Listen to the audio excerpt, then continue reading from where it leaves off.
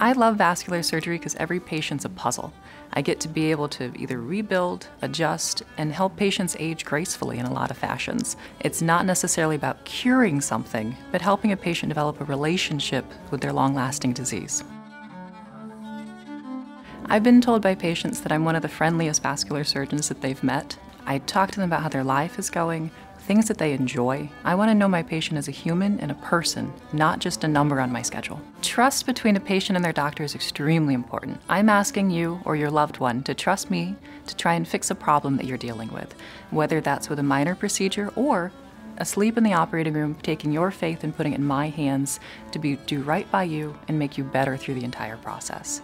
The most important thing to know as a potential patient is that I care about you. I care about your family, I care about your quality of life, and I want you to know that I'm here with the entire team to help work as hard as I can to get you to be able to go to your grandchildren's parties, to go for a walk when the weather's nice.